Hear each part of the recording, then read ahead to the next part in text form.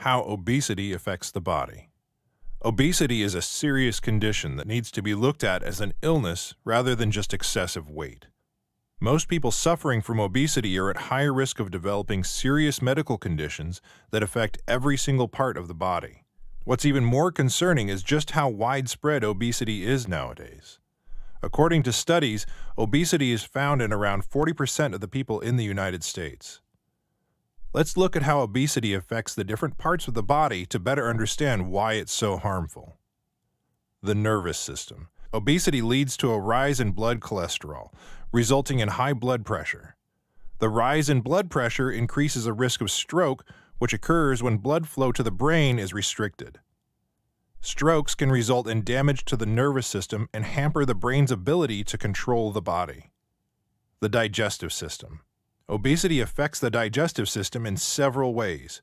Most prominently, it is associated with a higher risk of gastroesophageal reflux disease, or GERD, which occurs when stomach acid leaks out into the esophagus. Along with that, obesity is linked to an increased risk of gallstones and liver damage. It can even lead to liver failure in some cases. The respiratory system. Fat accumulation around the neck can cause the airway to become smaller, making breathing more difficult. This condition is known as sleep apnea, with some people even finding it difficult to breathe for small periods. The cardiovascular system. Increased blood pressure and cholesterol also affect the cardiovascular system. Obesity affects heart health and increases the chances of heart attacks. The skeletal and muscular systems. Increased mass places greater stress on the muscles and bones, causing muscle mass and bone density to deteriorate. This is known as osteosarcopenic obesity. It results in an increased risk of physical disability, fractures, and insulin resistance. The reproductive system. Obesity results in decreased testosterone, which affects libido. Along with that, being obese can make it difficult to conceive, while also increasing the risk of serious complications during pregnancy. Mental health.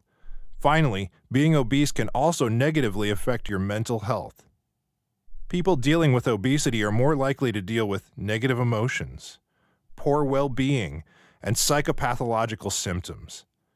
Poor mental health can make the body more susceptible to diseases, and obesity can result in poor self esteem, depression, and issues with body image.